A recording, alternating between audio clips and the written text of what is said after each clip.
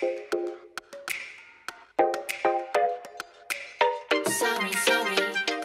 hai semua. Balik lagi sama aku Audrey Tapiheru.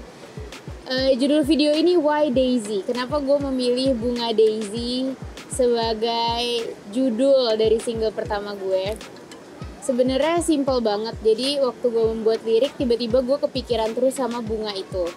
Salah satunya ketika gue membeli baju ini, gue ngerasa bunga ini kok kayak menyenangkan banget ya kelihatannya. Akhirnya gue search bunga Daisy itu melambangkan apa. Dan ternyata pas gue search artinya tuh bagus-bagus banget. Jadi kayak bunga daisy itu melambangkan kerendahan hati melambangkan keceriaan juga. Jadi agak doa juga ya buat gue agar uh, gue bisa tetap terus menjadi orang yang rendah hati orang yang tetap ceria. Dan satu yang paling menarik bunga daisy itu sering dipakai uh, di momen-momen penting yang menunjukkan sebagai new beginning sebuah awal yang baru which is gue banget sekarang. Gue memulai perjalanan baru sebagai soloist jadi itulah kenapa gue memutuskan memilih bunga daisy.